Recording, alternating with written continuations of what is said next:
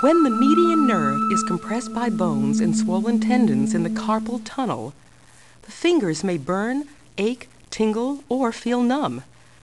Swelling of these tendons may be caused by overuse, pregnancy, rheumatoid arthritis, diabetes, and other conditions.